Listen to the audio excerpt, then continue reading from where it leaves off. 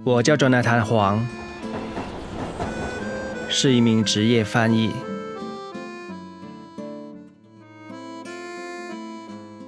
就这个，非常好，非常好。你妈卡。作为一个中间人的翻译，不是简单的事。你要消除所有情绪，才可以做好这项工作。还好，这是我的天赋，但有时候却是魔咒。